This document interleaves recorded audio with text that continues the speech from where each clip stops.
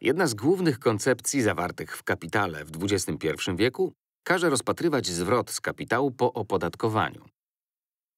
Zwrot napiszę porządniej. Zwrot z kapitału i porównanie go ze wzrostem gospodarczym. Z zastrzeżeniem, że jeśli zwrot z kapitału, jeśli R jest większe od G wzrostu gospodarczego, to kojarzymy, to co jest tutaj, kojarzy się ze wzrostem nierówności dochodu i z faktem, że więcej dochodu będzie trafiać do posiadaczy kapitału niż do pracowników. A że kapitał ma skłonność do koncentracji, skoro bogactwo, tak można widzieć kapitał, jest skoncentrowane, to dojdzie do jeszcze większych nierówności majątkowych. Zanim pójdziemy dalej, czy wierzycie w związek przyczynowy, czy nie, dowiedzmy się czegoś o zwrocie z kapitału, o porównaniu go ze wzrostem gospodarczym i tym, jak staje się on dochodem posiadaczy kapitału lub pracowników. Rozpatrzmy to na przykładzie bardzo prostej gospodarki. Powiedzmy, że cała gospodarka to kopalnia złota. Niech to będzie rok pierwszy. Tutaj. Cała wartość gospodarki, całe bogactwo, kapitał w gospodarce wyceńmy na 1000 złotych monet. Oczywiście moglibyśmy omówić sposób tej wyceny i tak dalej. To ma znaczenie w rozważaniach o wartości rynkowej lub gdy rozpatrujemy coś dogłębniej. Ale tu wystarczy prosta analogia, żebyśmy oswoili się z pojęciem zwrotu z kapitału z odniesieniem go do wzrostu gospodarczego.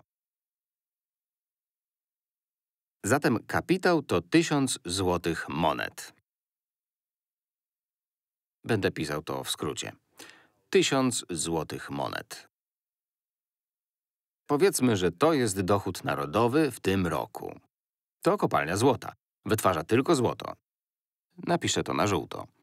Cały dochód narodowy, cały kraj to jedna wielka kopalnia złota.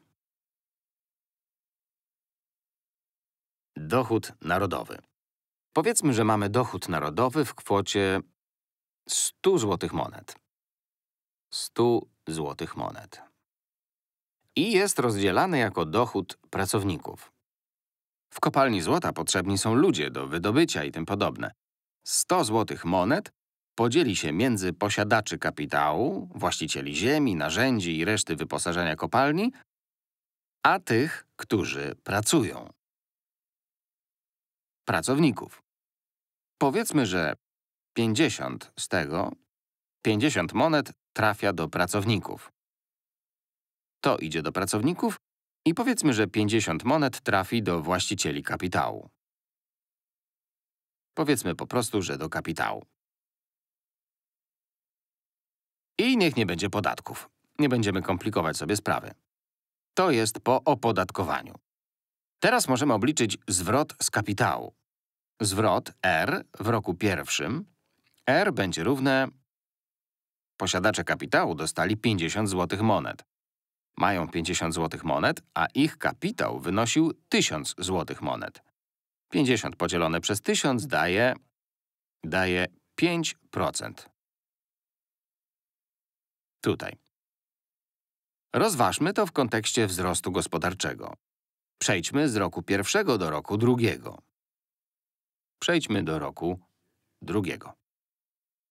Rok drugi. I załóżmy na potrzeby dyskusji, że cały kapitał, który wzięli właściciele, zainwestowali z powrotem w kopalnię złota. Wartość kopalni złota, kapitał w roku drugim, będzie wynosić 1050 monet. Zaczynaliśmy z tysiącem i zarobiliśmy 50. Zainwestowaliśmy to z powrotem w kapitał. Dokupiliśmy sprzęt, ziemię, a teraz mamy 1050 monet. I powiedzmy, że w następnym roku dochód narodowy rośnie. Dochód narodowy. Powtarzam, to bardzo uproszczona gospodarka, nadmiernie uproszczona. Składa się z jednej kopalni złota. Teraz powiedzmy dochód narodowy. Dochód narodowy zwiększył się o 2%. Dochód narodowy wynosi 102 złote monety. Można je podzielić na różne sposoby. Wybierzmy jeden. Objaśnię to, co przed chwilą powiedziałem. Mówiłem, że nasz wzrost gospodarczy wynosi 2%. Pytanie, jedno z najważniejszych w książce, brzmi czy ponieważ R jest w tej sytuacji większe od G, to większa część dochodu narodowego trafi do posiadaczy kapitału, czy wprost przeciwnie? A może poziom nierówności pozostanie neutralny? Zatrzymajcie na chwilę filmik i zastanówcie się sami. Mając te dane, podzielcie w różny sposób dochód narodowy z roku drugiego pomiędzy pracowników a kapitał i pomyślcie, czy gdy R jest większe od G, zawsze będzie to prowadzić do większych nierówności? Zależy, jak to podzielicie w danym roku. Może się zdarzyć sytuacja, gdy nierówności narastają.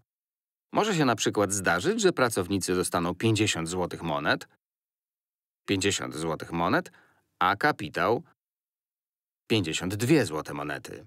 Zwrot z kapitału będzie wynosić 52 podzielone przez 1050. 52 przez 1050 Ilość dochodu, która zasili kapitał, to 52. Kapitał ma wartość 1050 złotych monet. Mamy więc prawie 5% zwrotu. Odrobinę mniej niż 5%. 4,95%. W tym scenariuszu zwrot z kapitału zwrot z kapitału wynosi jakieś 4,95% i widzimy, że R znów jest większe od G, a nierówności trochę rosną. Właściciele kapitału dostają więcej dochodu, większy procent. Dostają ponad 50% tego, co poprzednio, ale może też być odwrotnie. Sytuacja może być odwrotna. Może praca w tym roku miała większe znaczenie. Pracownicy wynegocjowali podwyżki. I teraz 52 monety trafiają do pracowników, a 50 zasila kapitał. Jaki jest zwrot z kapitału? W tej sytuacji zwrot z kapitału wyniesie 50. Właściciele uzyskują ten sam przychód, ale z większej inwestycji, z większej bazy kapitałowej. Z 1050, a to się równa 50 podzielone przez 1050 daje nam 4,76%. W przybliżeniu 4,76%. Jakieś 4,76. W tej bardzo uproszczonej analizie, patrząc powierzchownie na R i porównując je powierzchownie z G z roku na rok, wcale nie musimy koniecznie zaobserwować rosnących nierówności dochodu.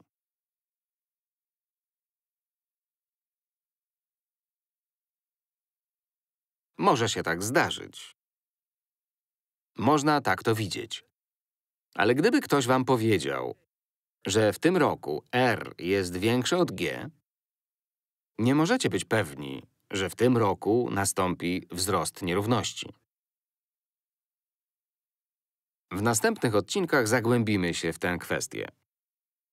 Z pomocą arkuszy kalkulacyjnych rozpatrzymy scenariusze. Na przykład takie ze stałym r. Albo stałe będą r i g, a my zaobserwujemy nierówności. Lub nierówności będą stałe, a my zobaczymy co z r. O tym w następnym odcinku.